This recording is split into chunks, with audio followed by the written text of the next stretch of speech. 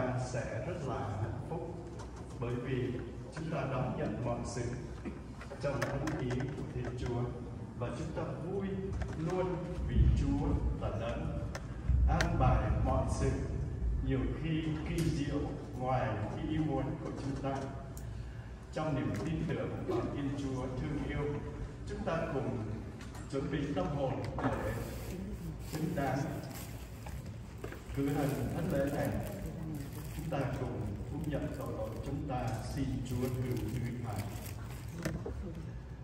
tôi thu nhận. Cùng Thiên Chúa toàn năng.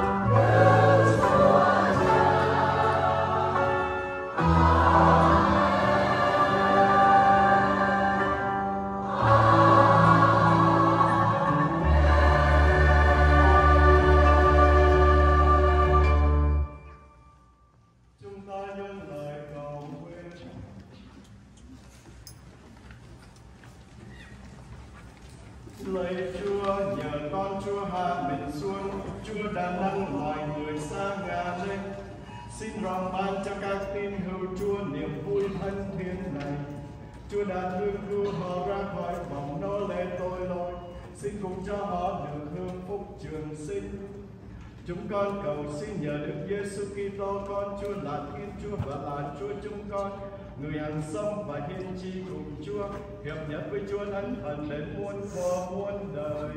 Amen.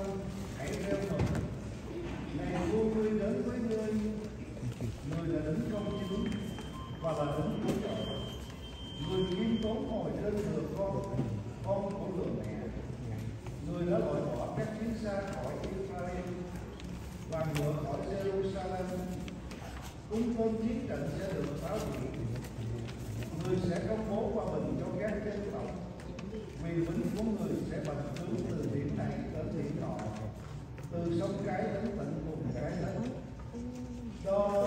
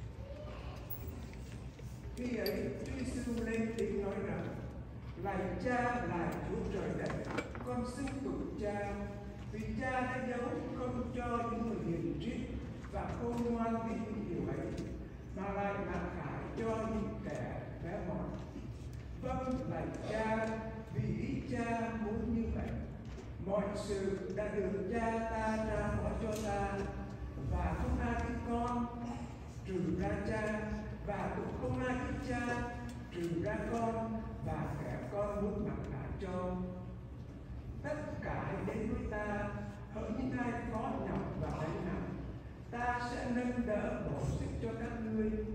Hãy mang lấy ách của ta và hãy học cùng ta, vì ta chịu hiền và kiên nhẫn trong lòng.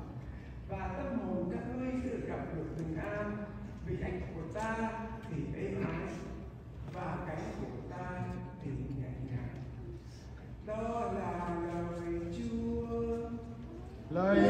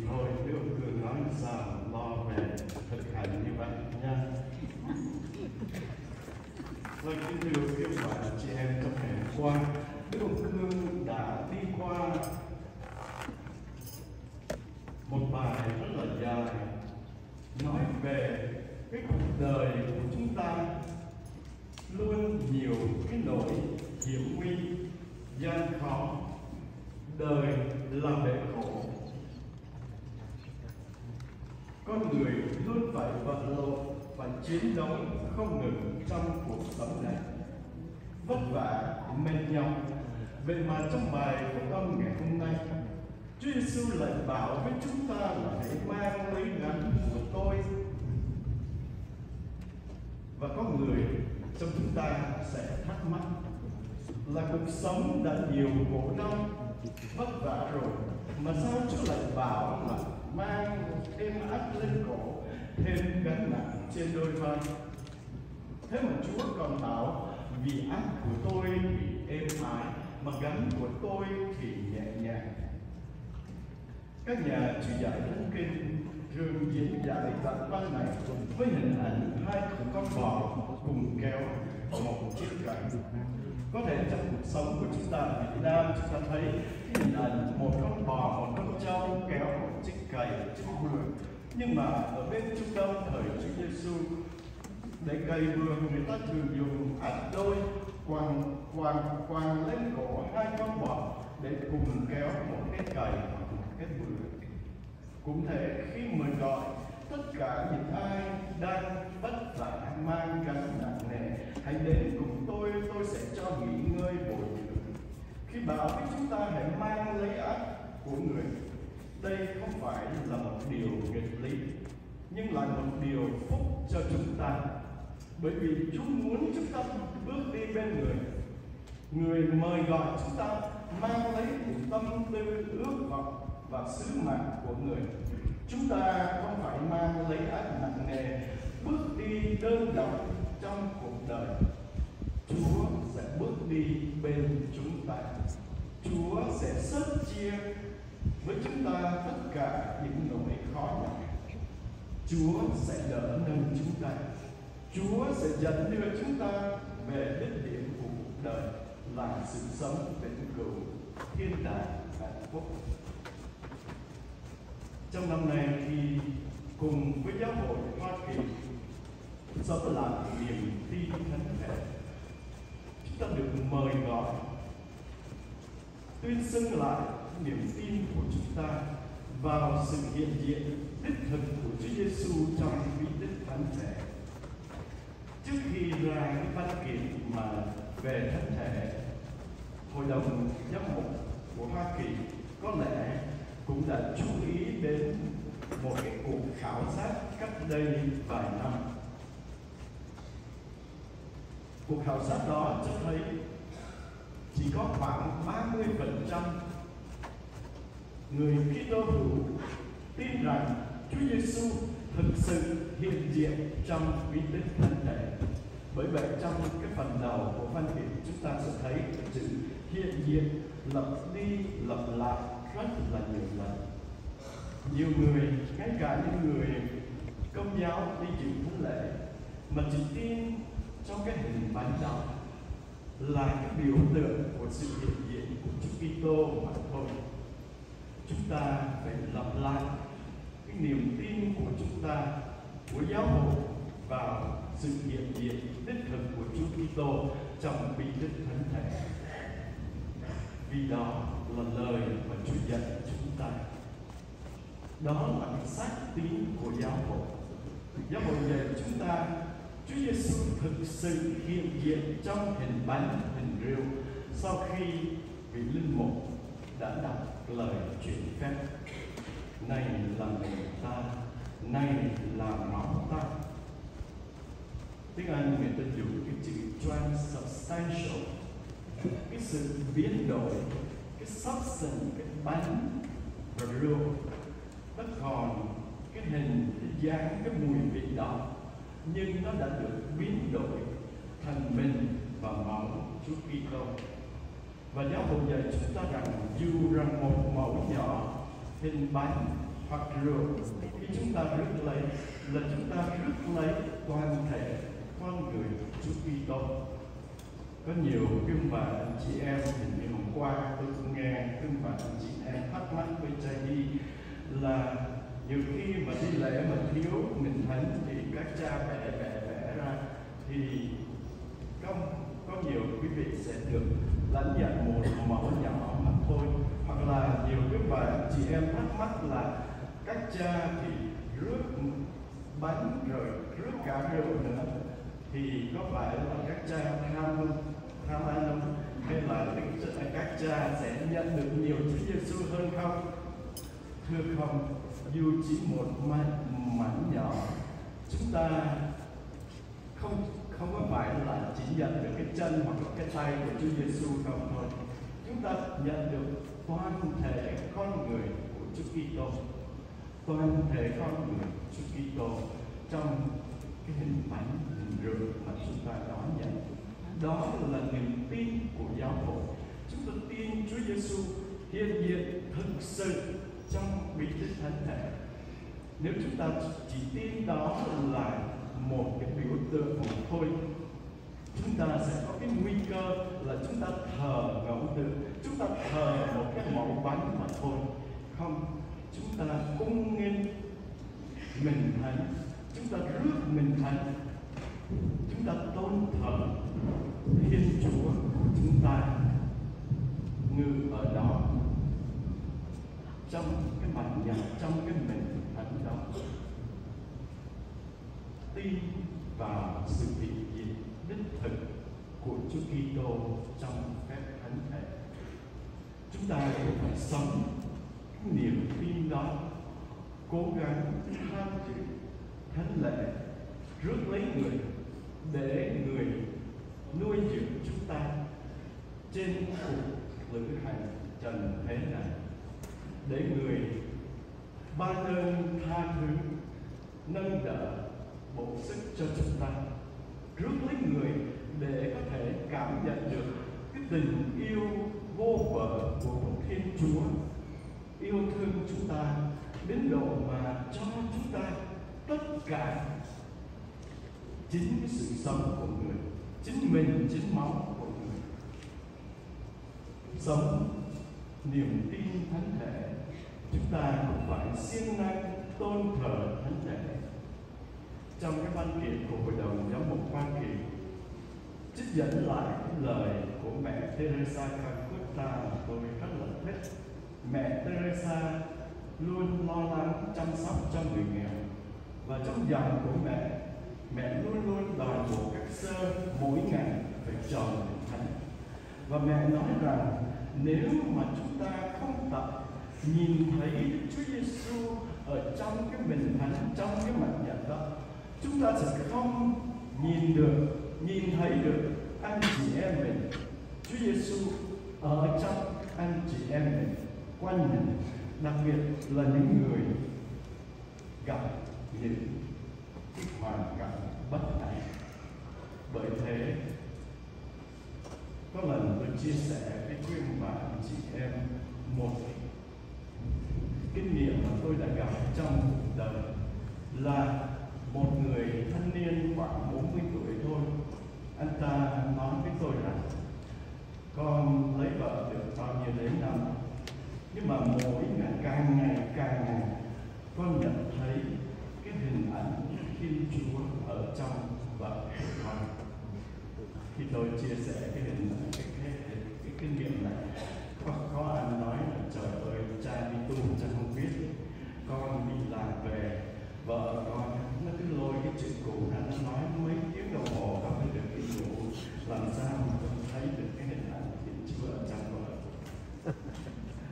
thưa quý và anh chị em, chúng ta phải đọc, nhìn thấy Chúa Giêsu trong bí tích thánh thể để rồi nhìn thấy Chúa Giêsu trong những anh chị em quanh chúng ta.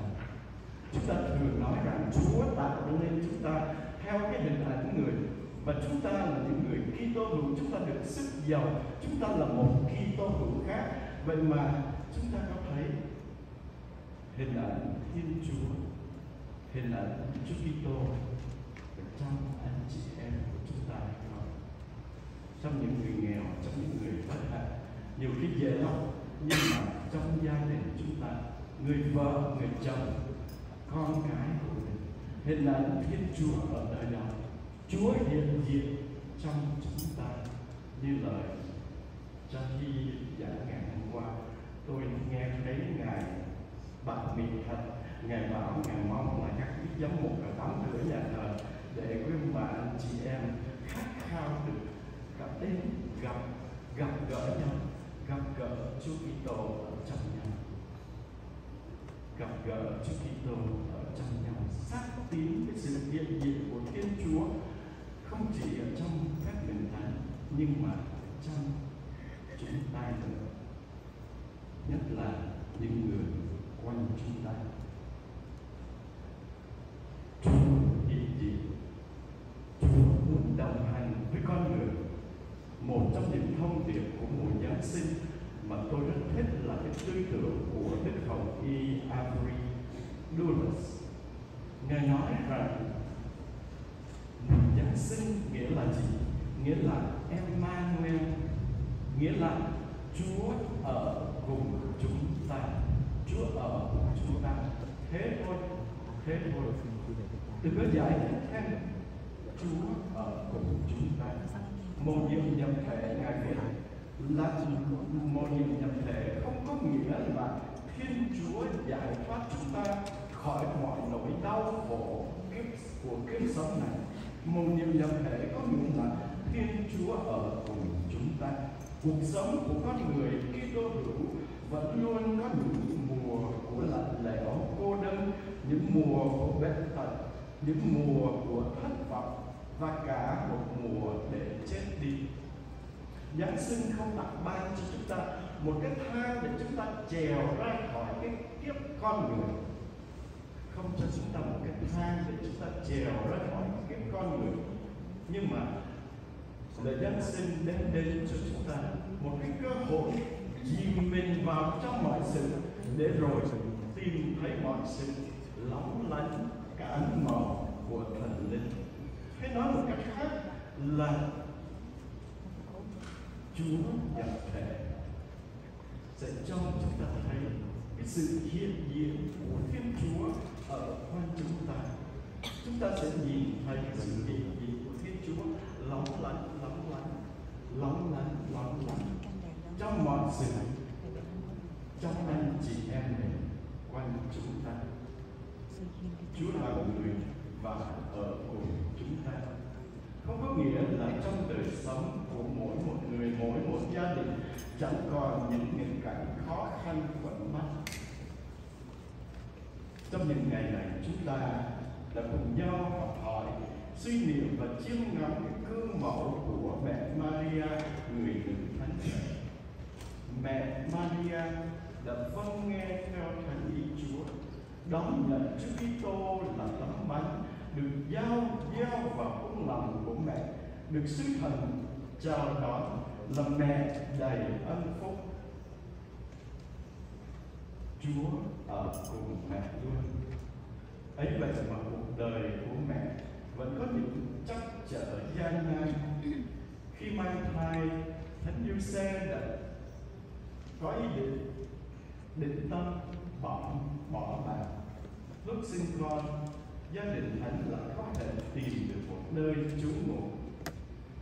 Chẳng bao lâu thì lại phải vòng về con trốn chạy sang Ai và khi dân con vào đền thờ làm mất con ba ngày con đi rao giảng, thì người ta làm mắt là con mình điên điên khủng khùng và không còn cái nỗi đau tột cùng, nỗi đau lớn lao hơn nữa mà một người mẹ phải hứng chịu là phải chứng kiến cuộc khổ hình và cái chết của con mình.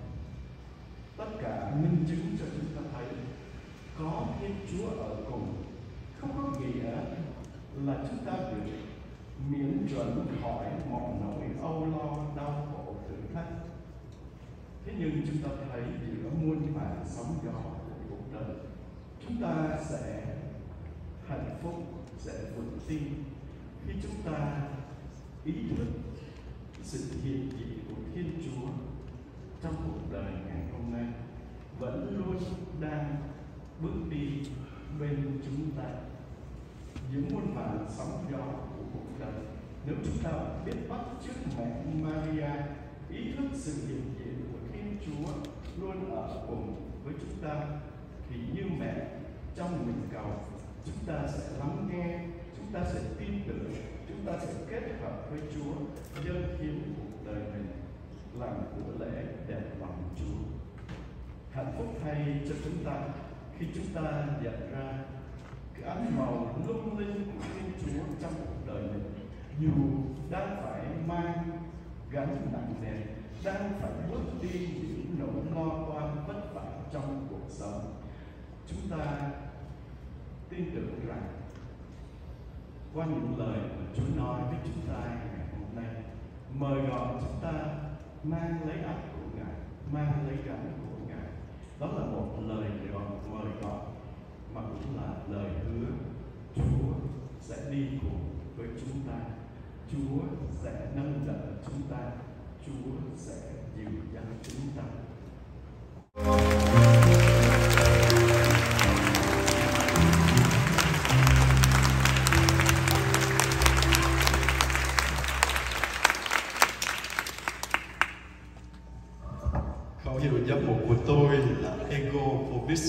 Nghĩa là thầy ở cùng anh em. Tôi đã chọn lời này để làm cái lời cầu nguyện cho chính mình. Xin Chúa luôn ở cùng trong cái sứ vụ của mình. Nhưng đó cũng là lời cầu nguyện tôi cầu nguyện cho quý ông bà chị em.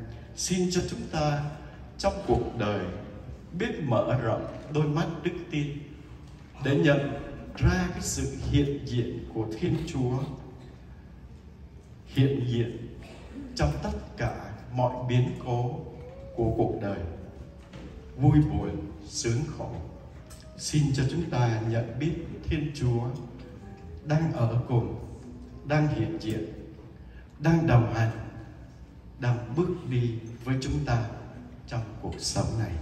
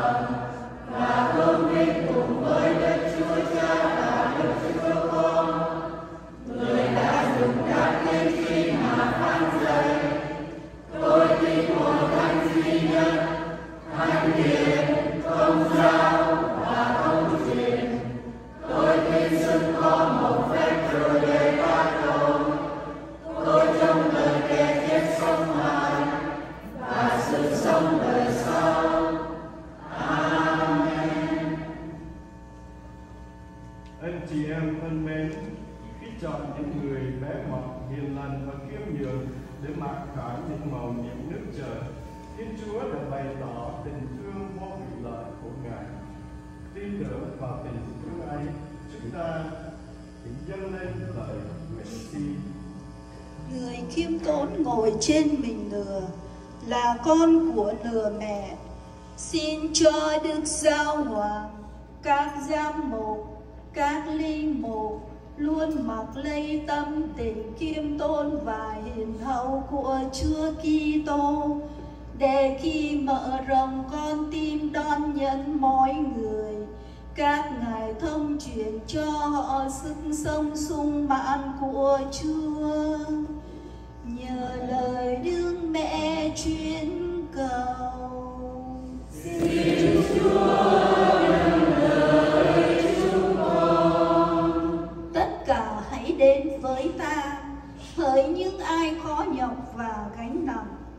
xin cho mọi tâm hồn Kitô hiếu đang hầu ngã quỵ dưới sức mạnh của vất vả.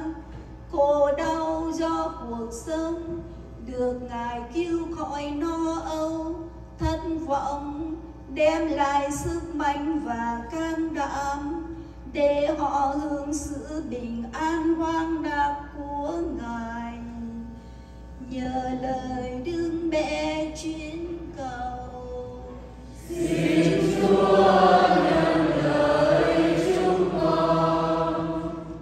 hãy học cùng ta, vì ta dịu hiền và khiêm nhường trong lòng. Xin cho những tâm hồn đã trở nên già cỗi, bao hận thù ghen ghen được ân sủng chúa cảm hoa giúp họ biết noi gương đức Kitô sống hiền lành và khiêm nhường, hầu xứng đáng niềm hương tình thương của ngài. Nhờ lời đức mẹ chuyên cầu.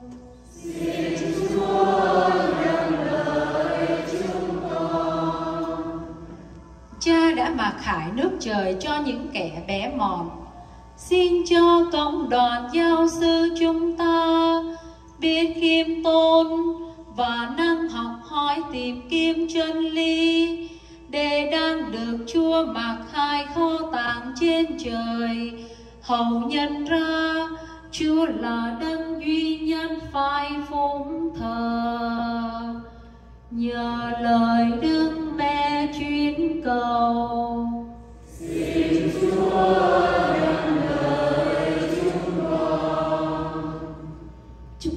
cầu xin cho mỗi người chúng ta tham dự Đại hội Thánh Mẫu La Vang ngày càng gia tăng lòng yêu mến Đức Mẹ, noi gương các thánh tử đạo Việt Nam, xin năng cầu nguyện và tham dự thánh lễ để cảm nghiệm được sự hiện diện của Chúa trong bí tích thánh thể.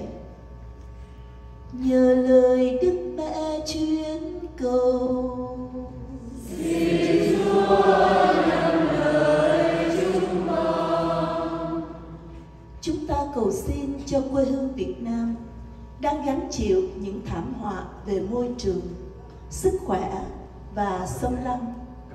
Xin cho nhà cầm quyền biết lợi ích của nhân dân, sự bảo tồn nòi giống và đất nước làm trọng. Xin Chúa Thánh Linh ban sức mạnh cho các tín hữu sống trọn vẹn ơn gọi Kitô hữu, trung kiên vượt qua mọi thử thách đức tin. Nhờ lời Đức Mẹ chuyên cầu. Xin Chúa nhận lời chúng con. Chúng ta cùng cầu xin Chúa cho linh hồn những người thân yêu của chúng ta, linh hồn các thân nhân và ân nhân của đền quốc gia Đức Mẹ cát Minh và linh đài Đức Mẹ La Vang được an nghỉ trên thiên đàng với Chúa. Nhờ lời Đức Mẹ chuyên cầu.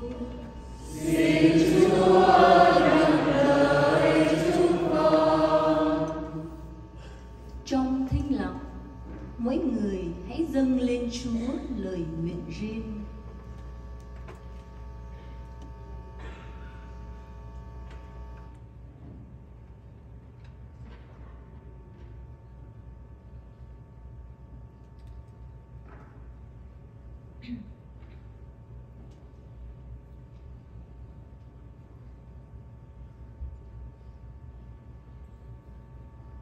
Nhờ lời đức mẹ chuyến cầu. Xin Chúa nghe lời chúng con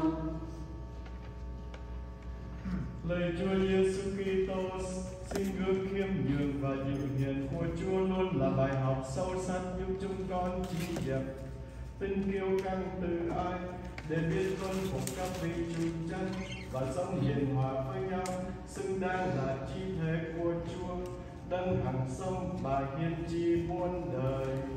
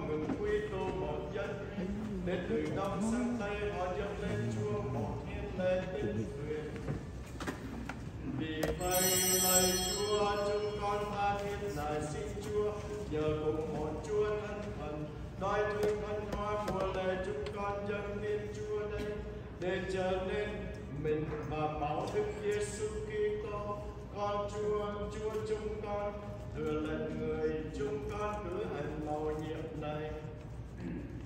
Trong đêm bị trao lộng, chính người cầm lấy băng. ta ơn Chúa dâng lời chúc tụng, bè ra và trao cho các môn đệ mà nói. Tất cả các con hãy nhận lấy mà ăn, vì này là mệnh thầy sẽ biết đồng vì các con.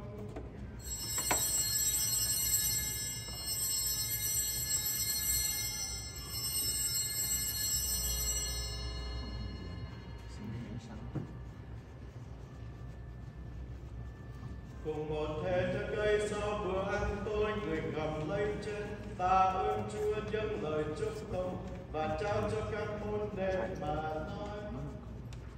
Tất cả các con hãy nhận lấy mà uống vì này là chết mong thầy.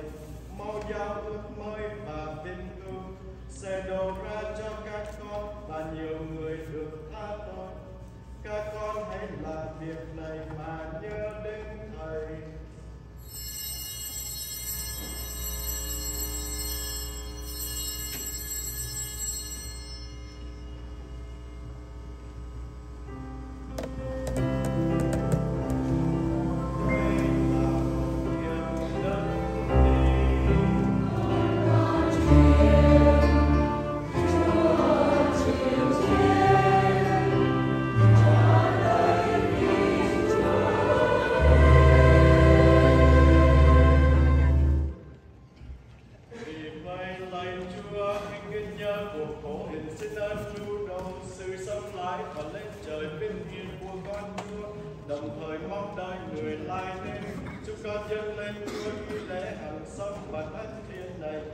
Tạ ta ơn Chúa.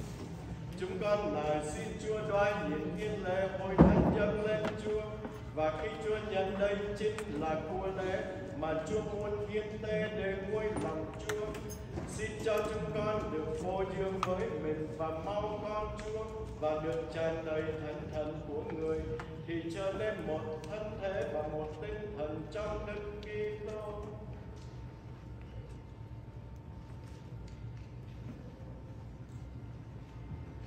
Nguyện xin Chúa thánh thần, làm cho chúng con trở nên vua lễ muôn đời nhân tiên Chúa, để chúng con được thừa hưởng gia nghiệp cùng với các người Chúa đã cho, nhất là với Đức Trinh Nữ Maria rất thân, mẹ Thiên Chúa Thánh Giuse ban Đức Trinh Nữ, các thánh tông đồ và các thánh từ đạo hiến vinh và toàn thể các thánh vì chúng con tin tưởng các ngài luôn truyền cầu cùng Chúa cho chúng con. Lạy Chúa, chúng con nguyện xin của lễ hòa giải này đem lại bình an và ơn cứu độ cho tất cả thế giới. Xin thương ban cho hội thánh Chúa trên đường lưu thư trần gian được vững mạnh trong đức tin và đức mến cùng với tôi tớ Chúa là Đức Giáo Hoàng Francisco, Đức Tổng giám mục Timothy chúng con cùng toàn thể hàng giám mục giáo sĩ khắp nơi và tất cả dân riêng của Chúa.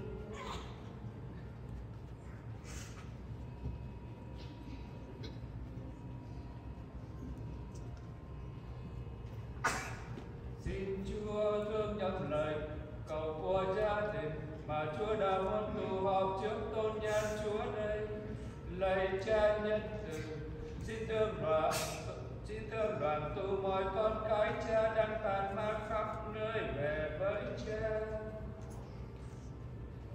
Xin cha thương đến anh chị em chúng con đã ly trần và mọi người, đặc biệt các bậc tổ tiên, ông bà, cha mẹ và thân bằng quê thuộc chúng con đã sống đẹp lòng cha mà nay đã lìa coi thế.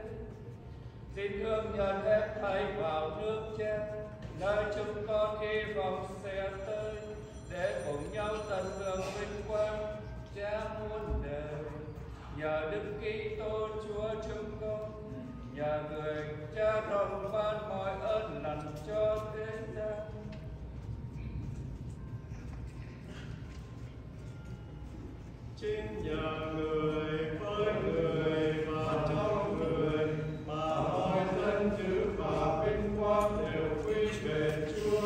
Là Cha toàn năng trong sự hợp nhất của Chúa.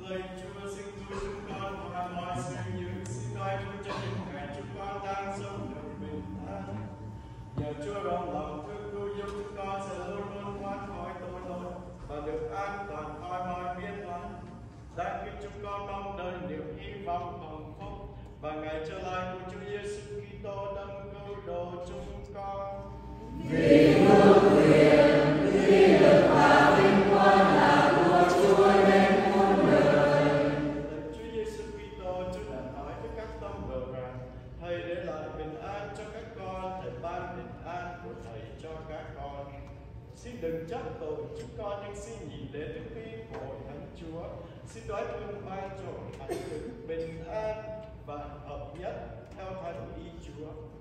Chúa hằng sống và hiền tri muôn đời. Amen.